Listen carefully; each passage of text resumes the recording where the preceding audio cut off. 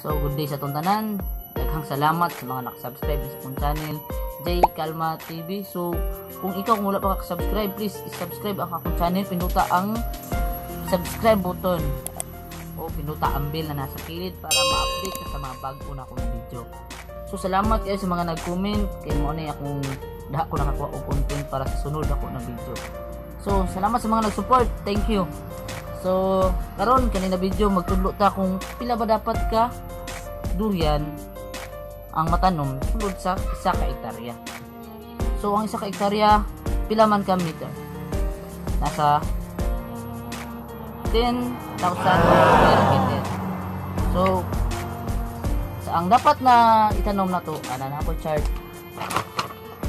Ano siya, 1 hectare. So, makita niyo kung naka-box box. Ang pagtanom og durian, dili lang kay basta na tanom ta, tanom. Dili lang kay basta na dugulo na to. Kay syempre, una-una na to dugulon para madaghan og sulod ang atong kuan, atong area, daghang sulod. Pero dili na siya pwede dapat nato idungkol gid siya. Ang pagtanom sa durian ay sukod ug unsa dapat ang kalayon. Kay ang durian ug duol ra kay na siya, masubaan na sa kalandong, wala gyud na siya kuan tarong bunga kay hindi man landong man siya ug duol sa sakit. Duol lang punta kung mamunga man, dali ra sa og borer, ana na, na siya. So dapat lagyo-lagyo. Dili na siya dapat duulon kay landong man diha man ang mga insekto na ma makahimo og sakit diha sila magtapok sa mga dahon na kanang landong. Maski pag imo nang puningan lahi ra ka mag-abot mo ang dahon.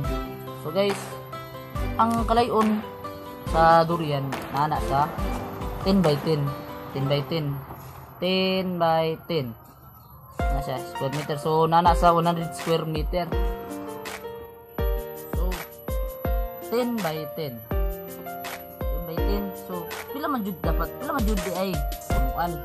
Kay 10 by 10 man ang isa ka hektarya 10,000 square meter. So 100 square meter lang.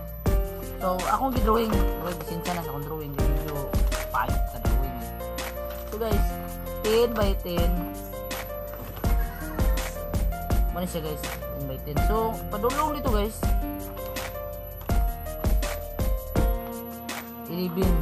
11 sa padulong dito. O 11 pababa.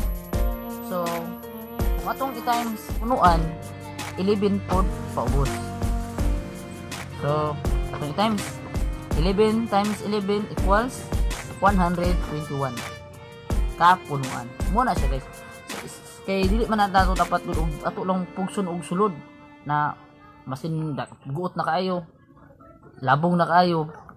Dapat tama-tama na nagtanong kay murag gyapon pag abot sa panahon pag dako na putlon na gyapon nato na tunga so guys daghang salamat sa paghuman ani na video. Hinaot nga na mo'y nakatunan sa kong video karon. So kung wala pa ka subscribe please ayaw kalimot pag-subscribe sa akong channel. Ug atangi ang akong sunod na video ang pag-abuno ug ang pagtambal sa durian. Salamat.